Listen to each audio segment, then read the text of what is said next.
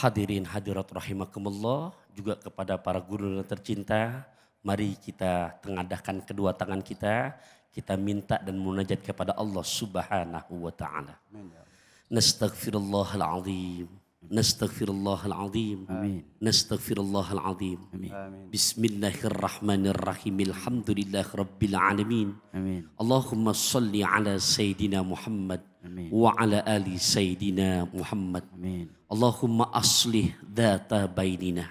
Ya Allah, Amin. mudahkan segala urusan kami. Amin. Wa alif baina kulubina, Amin. persatukan selalu hati kami. Amin. Wahdina subulas salam, Amin. berikan petunjuk yang baik kepada kami. Amin. Jalan-jalan keselamatan yang engkau ridhoi. Amin. Wa najjina minadh-dhulumati ilan nur. Amin. Selamatkan diri kami dari gelapnya kebodohan kepada cahaya petunjuk yang engkau ridhoi. Amin. Wa jannibnal fawahisha.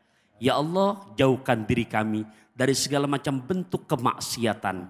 Ma minha wa ma. Amin. Baik yang nampak maupun yang tak nampak ya Allah. Amin.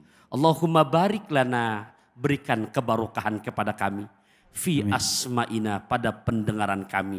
Wa absorina penglihatan kami. Wa kulubina hati kami. Wa azwajina dan pendamping hidup kami. Amin. Wa dzurriyyatina lebih-lebih kebarokahan untuk kelak anak cucu kami. Wa tub alaina terima selalu permohonan taubat kami ya Allah. Innaka angkat tawabur rahim. Sungguh engkau maha penerima tobat lagi maha penyayang. Amin. Wa sallallahu ala sayyidina Muhammadin.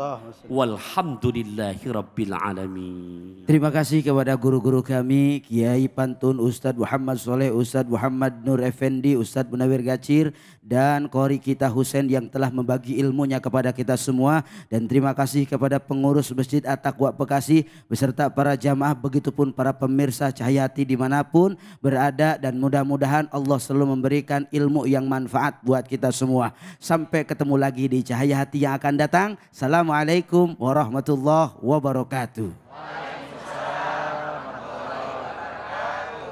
Ya Rabbi bil Mustafa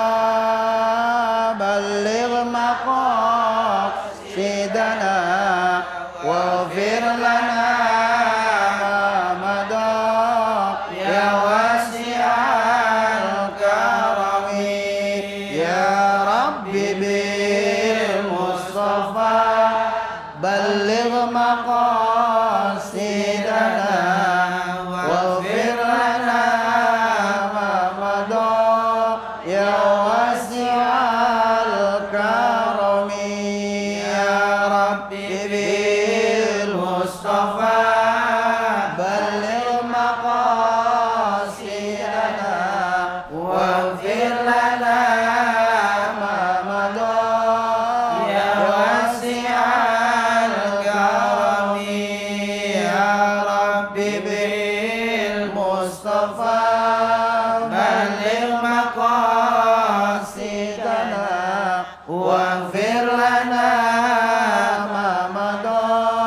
ya wasi'a